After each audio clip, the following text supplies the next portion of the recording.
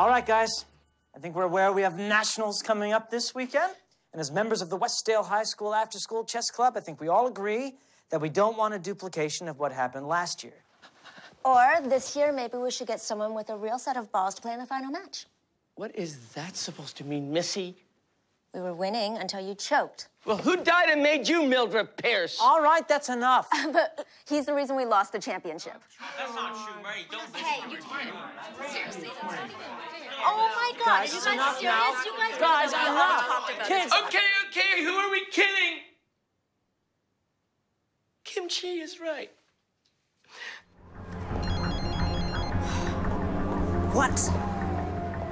You're not talking me out of this. Stop harassing me. You call me again, I'm going to the police. I said not to call.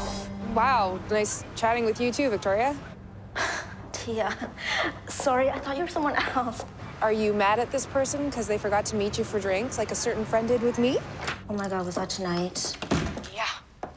I'm so sorry, Tia. It's just, you know, it's been a crazy couple days at work. What, is it the Barrett article? Yeah, it's complicated. Look, can I can I call you back when I get things straightened out?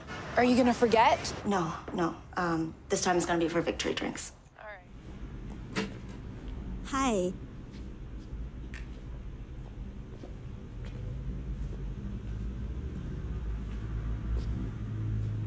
Date.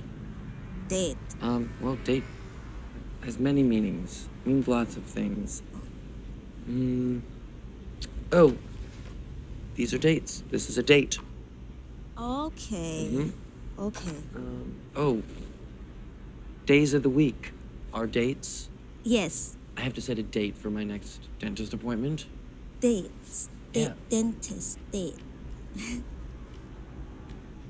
Dentist. Would you like to go on a date with me? Oh, okay. No. Got it. Thank you. I really, I'm asking you out on a date. Do you want to go out on a date with Do I- me? Yeah, for real. Want to go on a date with you? That's yeah. Yes. Yeah. yes. Okay. Okay.